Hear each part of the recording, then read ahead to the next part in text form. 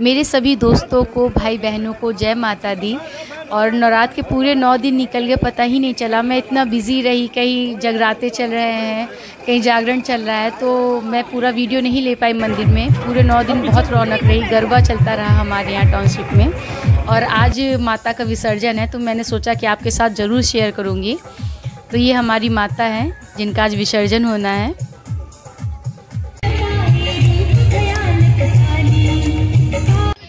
और ये वो जगह है, ये हमारे यहाँ का क्लब है, जहाँ हम लोगों ने खूब गरबा खेला।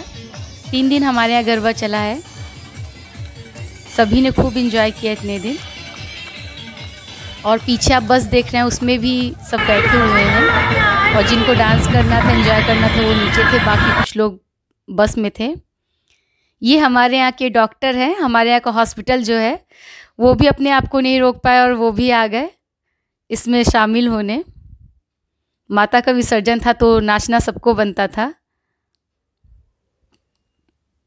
प्लीज़ अगर आपको ये थोड़ा सा भी अच्छा लगे माता का विसर्जन तो ज़रूर मेरे चैनल को सब्सक्राइब कीजिएगा। और देखिए, घूंघट में हमारे डॉक्टर साहब अब हैं। वो साइड में है। मीन्स सबने खूब फुल इंजॉय किया। शायद आप भी इंजॉय कर रहे होंगे देख के। और आप भी इस रंग में रंग जाइए।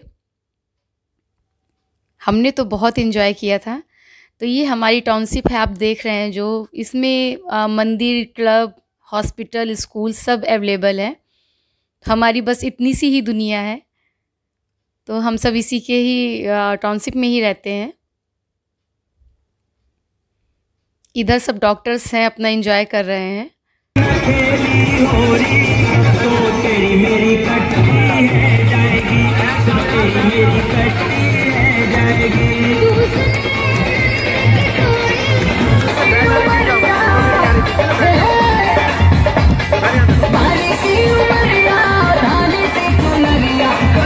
ये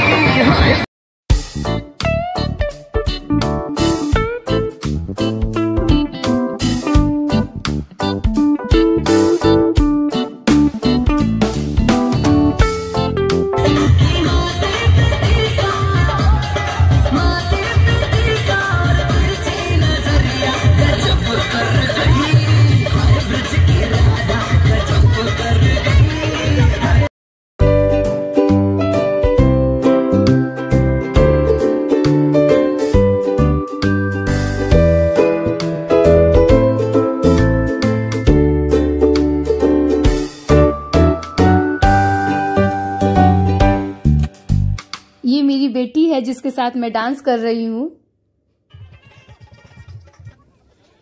अब हम जहाँ विसर्जन होना उस जगह पहुँच गए हैं। तो हम इनको नहर में नहीं विसर्जित करते हैं, एक तालाब है। तालाब मीन्स क्या हमने उसमें गड्ढा करके पानी डलवाया गया उसमें तो बस उसी में ही विसर्जित किया जाएगा। और पहले आरती होगी, इसके बाद विसर्जित होंगी माता।